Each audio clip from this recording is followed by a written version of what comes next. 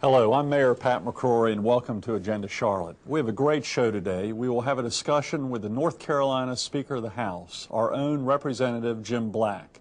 Speaker Black is the number one person in the House and is viewed by many as one of the three most powerful political leaders in our state. The last legislative session was one of the best run and least time consuming of any session in recent history. Speaker Black gets the lion's share credit for being businesslike, compromising, collaborative, and as bipartisan as any speaker I have observed. I am proud to introduce our own Jim Black, Speaker of the North Carolina House of Representatives, our representative from Mecklenburg County, and my personal friend and, I might say, optometrist.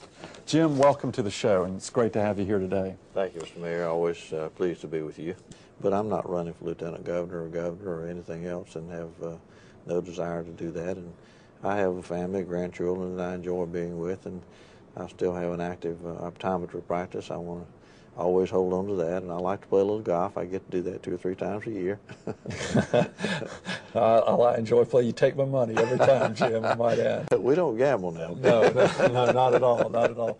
Well, I got a uh, wonderful tour of your office in. Um, in, in Raleigh recently, and I really appreciate your hospitality. And I just took you up to the mayor's office here and showed you a view of Charlotte, and you've been a wonderful teammate. Um, and one thing I've learned is that you can't burn bridges, uh, both during good times and tough times. Bipartisan, you're a Democrat, I'm a Republican, and uh, issue by issue, we have to work together.